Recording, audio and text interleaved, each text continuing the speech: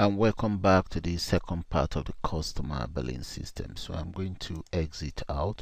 In fact let me show you guys all of this information on my worksheet. There, there they are on the worksheet. But can, as you can see the worksheet has no there's no title there or okay let's just enter those titles anyway. And then we'll take it from there. And this is going to be first name surname. And let's just speed that up. Okay they all now have titles. So I'm just gonna make make that bold. So maybe increase the font size as well. Let's make that about yeah maybe 12 or 14 that's fine. Right. So save that as well and let's get back to our interface user in a uh, user form. So let's run it again and see. There we go. You see the the headings are now displayed. Right. That's fine. So uh, I'm going to confirm that I've finished up with that very part of it. So let's take care of the total now. So in the case of total we need all of this. Maybe we should declare maybe we should declare an array. So let's come in here double click on total. So right there I'm going to say let's say dim um, cakes. Or cake whatever. Let's go for about 15 of those as double.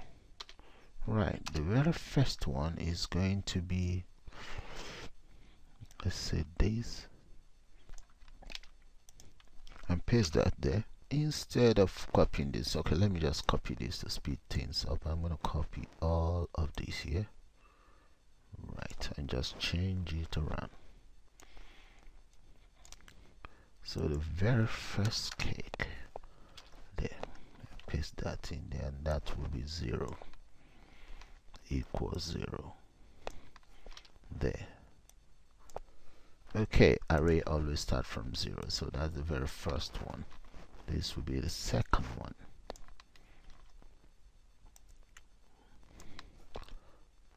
And so on. Then we take care of the calculation. Right.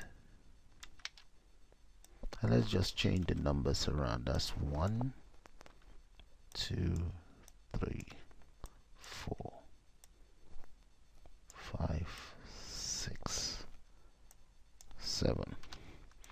Okay, so we need to multiply this by the cost of each item.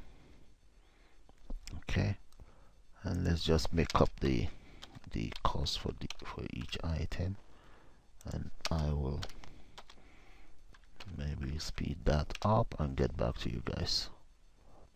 Okay, we now have the value for each of the cakes. So let's do one more thing. So that would be number 8 number 8 equals adding all of the values together. That would be cakes number 0 0 and add it to number 1 grab number one. There and so on. So copy that and just paste it around.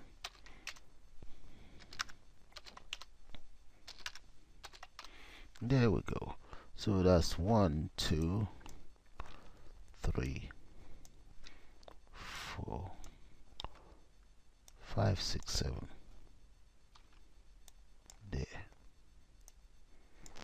right. So this will be subtotal.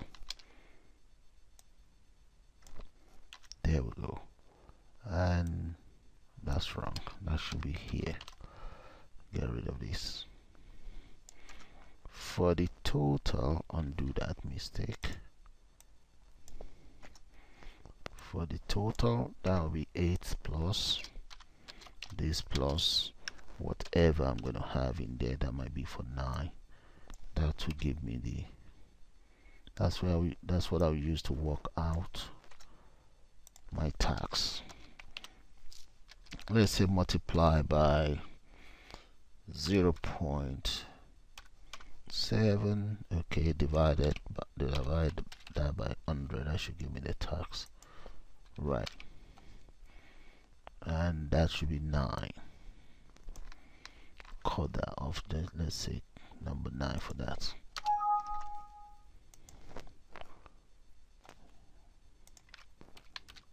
Right that's cake 9 there we go. Right. So right here the first thing I've done here is work out that's supposed to be my tax. You can always declare tax there if you want. You can just say dim maybe i tax as double. And i tax in this case equals this. So that's our i tax. So in that case so the tax instead of entering that you just put that in there. That's the tax so work out the tax and store that in here assign that here and tax is then assigned into here and so on. Okay? There. Okay let's try this out. I'm just gonna go up here and run it. Let's see. We're gonna enter whatever value in there. And let's see. We click on that. There we go but supposing we don't have anything in here and what's gonna happen? Okay let's see. Alright let's say we add zeros and delete whatever we have. What will happen? We have an error. Okay so let's do something about that. Okay let's end that so what I'm going to do is I'm going to come in here. You see this? Let's copy all of this. You might be wondering what am I going to do with that? I'm just going to paste that. No I'm going to paste it right in here. Yeah. Let's paste it right here. And I will then use an if statement here. So if if whatever we have in here is nothing then I want this. I want it to convert it to zero for me.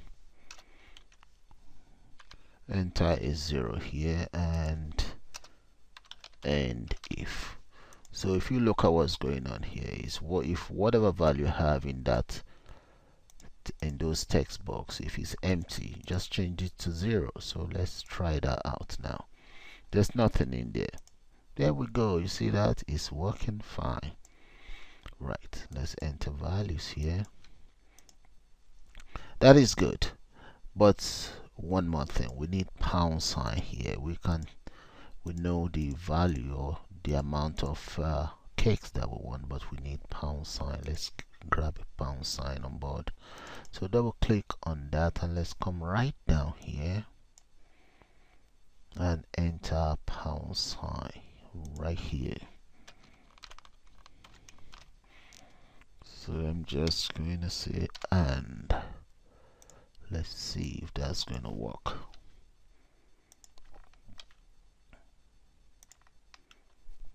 Paste and okay. So let's try this out. If it doesn't work then we use another method so let's come in here. There we go. It's working. No I don't like six. Right there. Okay. Okay but there's another problem.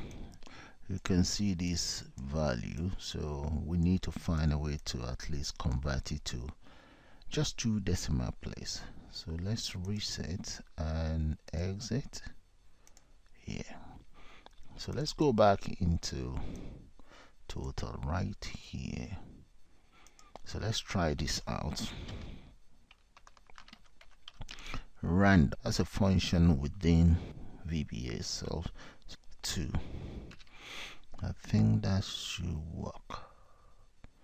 Okay and let's repeat the same thing here as well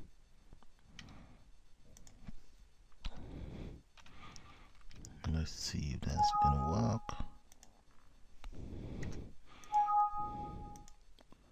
okay. Round comma 2 that's just for this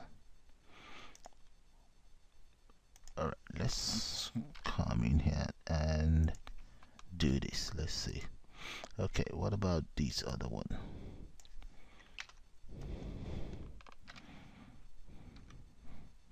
and let's say comma 2 here so.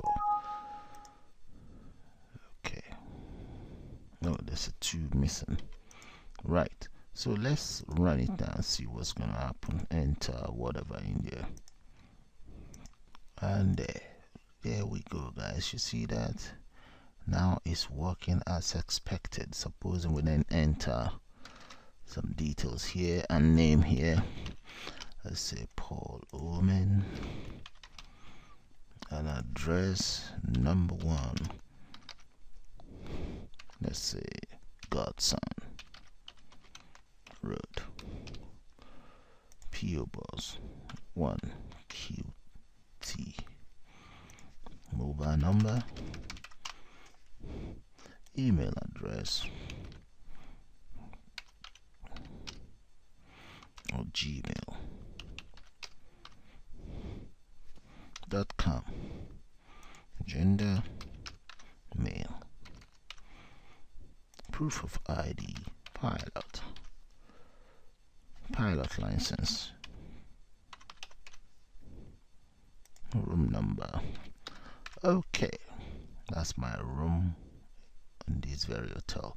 If I click on total yeah let's just add something else and click on total add it to the workbook. There we go. Look at the information on the workbook. Look at that. Okay and we also have it on the spreadsheet. There we go guys. So just for your information this tutorial is actually at a request of one of my viewers out there. Okay guys so okay there's an error I would like you guys to be aware of which I'm going to correct now. You see if I click on reset because the data I have in here are directly from the from the spreadsheet itself there will be an error. Look at that. There is an error and there. So what I'm gonna do is I was not meant to clear that itself. So I'm just gonna delete that. So you guys just remember to take care of that and that is it. So if I populate that reset nothing will happen. So that's fine. With that I'm gonna call it the end of this tutorial. I suppose you guys enjoy it. And you all have a nice day now. And bye for now